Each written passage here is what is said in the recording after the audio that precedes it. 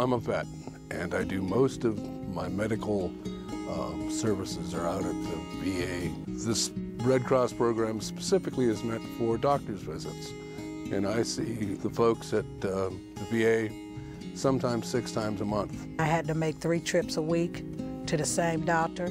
My car broke down, and I needed an engine, and I didn't have enough money, so um, I came home one day and I was kind of a little blue and thinking about transportation and how am I going to get back and forth. And there was a pamphlet in the door saying, if you're Weinland Park, you could get transportation from the Red Cross. So it came right on time. Got a flyer on our front door, and it first of all sort of addressed moms with babies, which I always thought was a good thing, and then it said old guys too.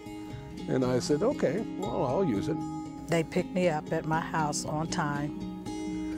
Even come up to the door and knock, and when they saw me walking with my walker, they even came and helped me down the steps and opened up the car door for me, very courteous.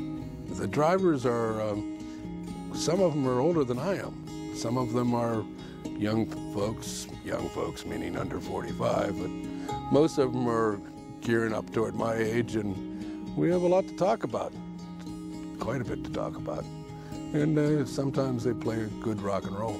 The Red Cross uh, has afforded me a way to get around that I normally wouldn't have had. But the reason they can do it is because uh, the Chase Bank is supporting the effort. I'm very thankful for Chase Bank because they have supported the Red Cross. I've driven a lot on my own and just to be sitting back and letting somebody drive me, it just makes you feel real good.